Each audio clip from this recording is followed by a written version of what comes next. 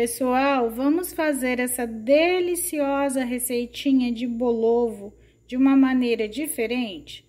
Não vai ovos na massa, nem farinha de trigo, e o recheio do ovo será com ovinhos de codorna.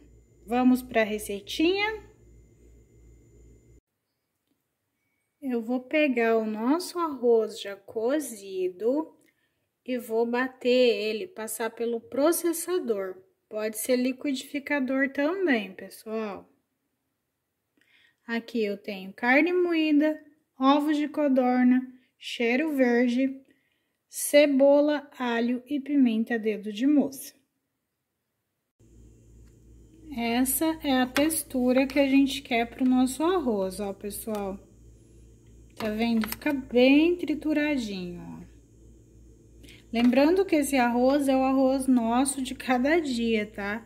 Com os temperinhos de cada um. Agora, pessoal, eu vou acrescentar mais temperinhos. cheiro verde, aqueles que eu mostrei para vocês no início. Eu vou deixar todos os ingredientes utilizados na descrição, tá? E vou colocar também a nossa carne moída. Eu temperei ela com um pouquinho de sal, tá? Aqui está, pessoal, nossa carne já passada pelo processador juntamente com os temperos. E lembrando que eu acrescentei sal na carne, que o que estava temperado era só o arroz que já estava pronto. Eu vou colocar numa tigela e vou mostrar para vocês. Aqui está a carne, pessoal. Agora eu vou moldar, vou misturar bem, né? Para acabar de pegar os temperos que foram processados.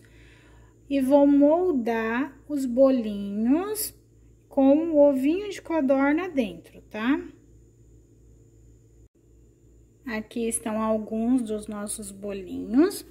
Eu fui moldando com o ovinho de codorna dentro e tirando o excesso, tá, pessoal? Não pode também tirar muito, não pode ficar à mostra o ovo, porque senão pode estourar na hora de fritar, tá? Agora, nós vamos fritar esses bolinhos.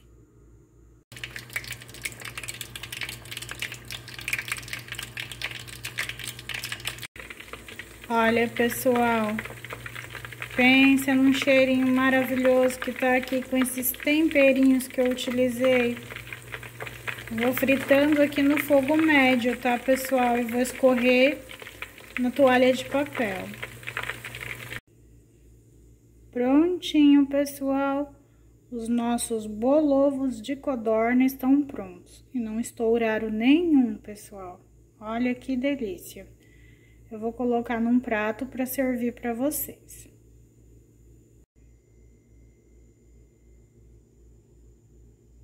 Olha, pessoal, abri uma aqui para mostrar para vocês. Ficaram deliciosos.